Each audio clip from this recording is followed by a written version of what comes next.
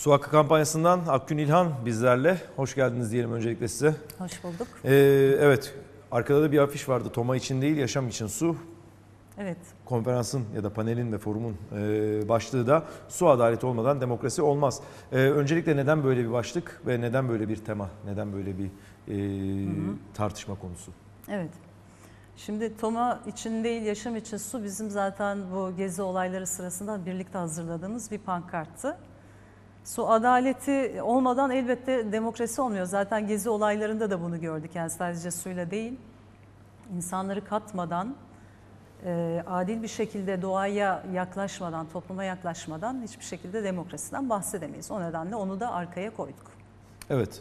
Ee, peki neler konuşuldu üzerinden giderek belki biraz daha altın doldurmaya çalışalım bu su Hı-hı. adaleti olmadan demokrasi olmaz söyleminin. Ee, nasıldı panel? Neler konuşuldu onu dinleyelim sizden öncelikle. Panelde çok fazla konumuz vardı. Ömer Madra vardı mesela. Ömer Madra işte iklim değişikliğiyle başlayıp e, bunun su kriziyle ilgisini anlattı. İşte şey diyordu mesela. Genelde böyle iklim e, değişikliğinden bahsederken insanlar hep böyle şeyden e, şöyle bir e, eleştiride bulunuyorlar. Yani son derece e, olumsuz şeylerden bahsediyorsunuz, umutsuzluk veriyorsunuz diyorlar. Ömer Madra da diyor ki hani umutsuzluk değil tam aksine harekete geçerek umudu söylüyoruz. Yani ne zaman umutsuzluk sona erecek? Biz harekete geçtiğimiz zaman bunu anlatmaya çalışıyoruz diyor mesela. Ömer Madra'nın konuşması bununla ilgiliydi. Sonra Arif e, Nihat Alpsoy da su kanunundan bahsetti biraz. Su hakkı kavramından. İşte bu kavramın e, nasıl şey olduğundan böyle e, su hakkı kanununda, su kanununda daha doğrusu hiçbir şekilde ele alınmadığından falan bahsetti. Bir su kanununu oluşturuyorsunuz ama içinde su hakkından bahsetmiyorsunuz dedi. İşte bu 49 yılına kiralama meselesini anlattı. Yani Türkiye'de aslında suyu özelleştiren ve ticarileştiren kanunları anlattı bir parça ve hani bunlarla mücadele etmeden su kanununu oluşturmanın veya işte e, yani su kanunundan bahsetmenin bir anlamı olmadığını falan anlattı bize. Bizlerle onu paylaştı. Yani su hakkı olmayan bir su kanunu var Hı-hı. Türkiye'de ve bu Hı-hı. aslında su hakkını tanımayan insanların ve Hı-hı. sadece insanların da değil bütün yaşamın su hakkını tanımayan bir e, su kanunuyla da hı hı. E, eleştiriler getirdi anladığım kadarıyla evet. avukat Arif Nihat. Onun Aksoy. dışında evet Osman Özgüven geldi. Dikili Belediye Başkanı artık hepimiz tanıyoruz. Hı hı. Dikili Belediye... Su kahramanı Türkiye'nin Evet su kahramanı diyebiliriz. Evet. Dikili Belediye Başkanı Osman Özgüven de hani bu 13 tona kadar e, hane başına suyu ücretsiz verme meselesini anlattı. E, bunun hani suyun bir insan hakkı olması nedeniyle bunu yaptıklarını anlattı. O çok önemli bir vurgu aslında. Çünkü e, hani su eğer haksa diyor Osman Özgüven, bunun satılmaması gerekir. Vatandaşa bir hizmet olarak bedava olarak sunulması gerekir diyor. Ondan bahsetti biraz. Birazcık da tabii başına gelenleri anlattı. E, açılan davalar ve davalar sonucunda e, başka davalardan hani su hakkıyla ilgili olan, e, bedava su vermeyle ilgili olan e, davanın rövanşını alan davalar sonucunda yurt dışına gitmek zorunda kaldığını, sonra döndüğünü ama bu süreç içerisinde suyu bedava olarak halka dağıtmaya devam ettiklerini ve devam edeceklerini bildirdi. Bu da çok güzeldi. Yine yurt dışından bir konuğumuz vardı. Food and Water e, Europe yöneticisi Gabriela Zazzanaini. Hı hı. Gabriella da onun anlattıkları da ilginçti. Biliyorsunuz e, bundan bir ay önce 1.9 milyon imza toplandı Avrupa Birliği çerçevesinde suyun insan hakkı olarak tanınması için. Yani Avrupa Birliği çerçevesinin içerisinde hukuksal bir e, metin olarak bu yer alsın diye insanlar uğraşıyorlar. Gabriella da bu oluşumun içinde Avrupa Vatandaşlar Girişimi.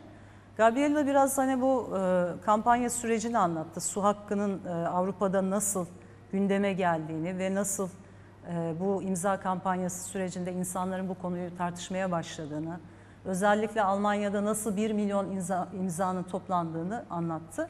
Ve e, salondan bazı sorular oldu şeyin sonunda, hani sunumunun sonunda. Dediler ki hani niye Avrupa Birliği içerisinde su hakkının tanınmasını istiyorsunuz? Neden kendi anayasalarınızda yapmıyorsunuz? Gabriela'nın yaptığı açıklama da ilginçti. Şöyle diyor, ee, bizim su çerçevesi direktifi diye bir şey vardı. Yani uymak zorunda olduğumuz bütün Avrupa Birliği ülkeleri tarafından. Ve bunun içinde bu Avrupa e, hani su çerçevesi direktifinin içinde su hakkından bahsedilmiyor. Su hakkından bahsedilmediği gibi halkın katılımı da çokça önemsenmiyor. Önemli bir başlangıç ama yeterli değil. O nedenle hani Avrupa Birliği çerçevesinde o ölçekte bir kampanya yapmamız çok önemliydi. O nedenle de bu kampanyayı yaptık. Kampanyanın sonunda e, imzalanan hani e, bütün bu imzaları Avrupa Komisyonu'na verdik ve şimdi bekliyoruz dedi. 3 ay sonra büyük ihtimalle bununla ilgili bir sonuç çıkacak. Ama hani 1.9 milyon imzanın toplanmış olması e, bunun olacağı anlamına gelmiyor diyor. Sadece hani bu süreci başlatmış olduk. Anlattığı buydu. E, sanıyorum salonda da yoğun bir katılım varmış. Öyle Aha, duyduk evet. ve e, insanlar Yüze yakın insan vardı. Yani hep birlikte yüze yakın e, katılımcı vardı. Ve böyle aynı- konular için çok iyi rakamlar bunlar Bence mi? de çok iyi. Yani biz açıkçası bu kadar büyük bir başarı beklemiyorduk. Büyük ihtimalle Açık Radyo'da yaptığımız Su Hakkı adlı program e, bunda hani bu etkinliğin duyurulmasında önemli oldu. Ömer Madra'nın gelmesi. Yine bir başka konuşmacı Avniye Tansu, o da bir açık radyo programcısı. Onun gelmesi ve İstanbul'un tarih çeşmelerini anlatması e, falan yani bu tip e, yollarla yeterince ulaşabildiğimizi düşünüyorum. Ama medyadan çok fazla gelen yoktu. Anladığım kadarıyla geçtiğimiz hafta sonu çok fazla etkinlik varmış. Bizim şanssızlığımız bu oldu. Ee, hani o da olmasaydı büyük ihtimalle daha fazla insan gelecekti. Yani çok çeşitli kesimlerden katılımcılarımız oldu. Konuşmaya değil de hani forumda konuşmaya geldiler. Mesela Kırklareli'nden, Dayko'dan Nusret Bey geldi. Onunla da bir etkinlik sırasında tanışmıştık. Ee, Su Hakkı kampanyası olarak bir e, kamp vardı. Longoz ormanları ile ilgili. O sırada tanıştığımız arkadaşlarımız geldi. Ee, Gıda Güvenliği Hareketi'nden Mehmet Şensoy geldi. İşte pet şişelerinin ve e, ambalajlı suların durumunu anlattı bir parça. Bunların hepsi forumda oluyor ama konuşmalara dönecek olursak, konuşmacılara, panel kısmına. İkinci kısımda Refika Kadıoğlu, Gola Kültür Sanat ve Ekoloji Derneği'nden. O biraz Arhavi'deki durumu anlattı, Artvin'deki durumu. Orada yapılan yayla festivallerini ve e, bu festivaller sırasında halkın nasıl şüpheyle yaklaştığını anlatarak bayağı eleştirel bir e, bakış açısı sundu bize. Anladığım kadarıyla e, oralarda İstanbul'dan gelenlere siz yerel değilsiniz tepkisi veriliyormuş E, ve şey diyor hani köyler arasında bile bazen diyor mikro, mikro milliyetçilik diyebileceğimiz hani çatışmalar oluyor. Sizin yaptığınız etkinliğe gelmeyiz, siz şucusunuz, bucusunuz falan gibisinden.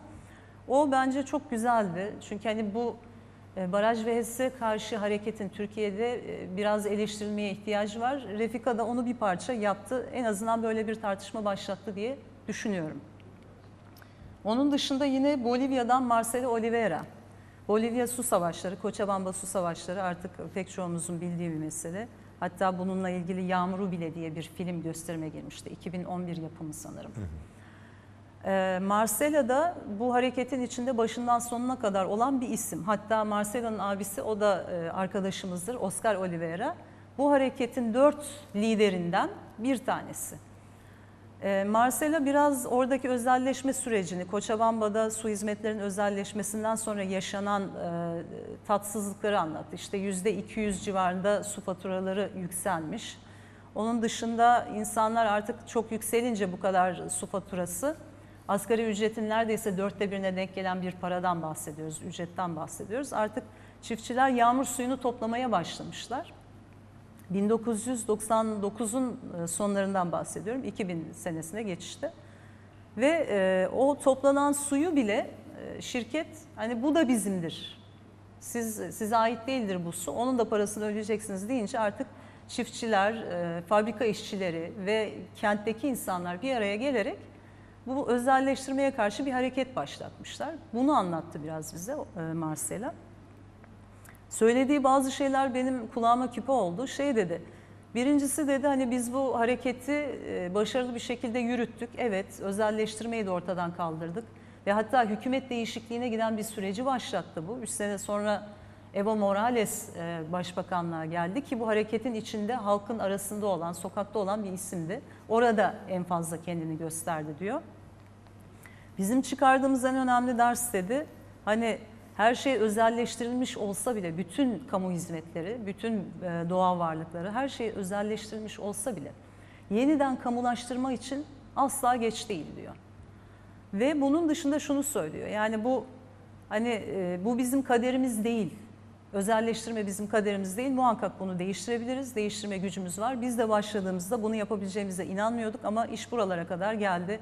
Şimdi e, bırakın sadece Cochabamba'nın Bolivya'ya örnek olması dünyaya örnek bir hareket oldu dedi.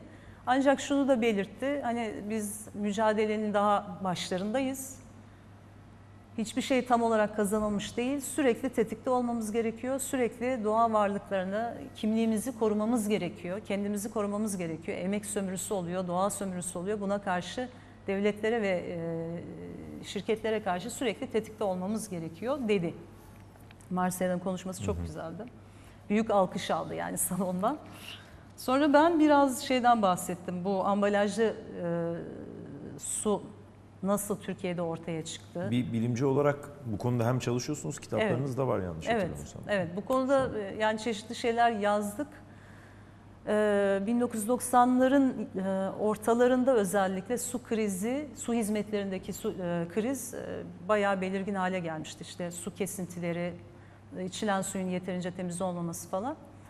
O sırada Türkiye zaten bir dönemece gelmişti. Daha önceden başlayan bu özelleştirme rüzgarı altında, onun etkisi altında. Hani iki seçenek vardı Türkiye'nin önünde, ondan bahsettim. Bir tanesi bu su altyapı ve hizmetlerine e, kamu, kamudan kaynak ayırmak. Yani iyileştirmek için, kamu eliyle iyileştirmek için bir e, hani bir süreci başlatmak ya da hani bu iyileştirme işlemini tamamen özel şirketlere devretmek. Türkiye ikinci yolu seçti. Ve böylece e, hızla suda da özelleştirme başladı. Ondan sonra da geldiğimiz nokta ortada. Şimdi e, içme suyuyla temizlik amaçlı suyun yolların ayrıldığı yer orası zaten. Şimdi hiç kimse hani pet bir hayat bile düşünemez hale geldi ülkemizde. Çeşmelerden su akmıyor artık. Sokak çeşmeleri vardı bir zamanlar. Ben hatırlıyorum kendi çocukluğumda bile içtiğimi. Ne sokaktaki çeşmelerden su içebiliyoruz ne musluğumuzu açtığımızda o e, suyu içebiliyoruz. Bunun bir problem olduğunu artık anlamamız gerekiyor gibi bir şey söyledim ve e, bir kıyaslama yaptım. Hani musluktan akan suyla zaten pet şişede aldığımız sular aynı kaynaktan geliyor. Yalnız bir farklı.